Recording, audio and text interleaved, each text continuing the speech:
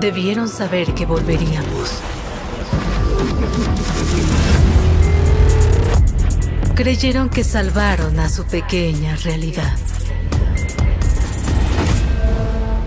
Pero solo la prepararon para nosotros.